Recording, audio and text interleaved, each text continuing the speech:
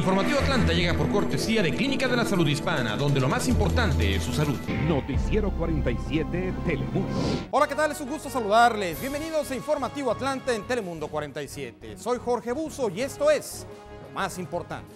La Oficina de Seguridad Vial del Gobernador de Georgia nuevamente puso en marcha los operativos de chequeo de velocidad en las autopistas interestatales 75, 85, 285 y 20. Dentro de la campaña de los 100 días de verano conocida como HIT, la dependencia junto con las policías de las ciudades y condados del área metropolitana de Atlanta, así como con la patrulla estatal, tiene como objetivo combatir una de las principales causas de fatalidades y accidentes de tráfico, que es el exceso de velocidad y que en algunas áreas se verificará no solo en autopistas y grandes avenidas, sino también en calles residenciales.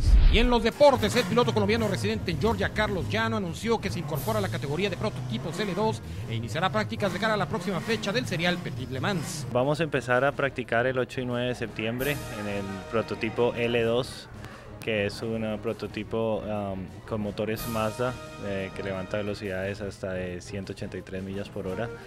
Vamos a estar practicando en la pista de Road Atlanta con miras a la carrera del Petit Le Mans que se va a realizar el 23 al 26 de septiembre.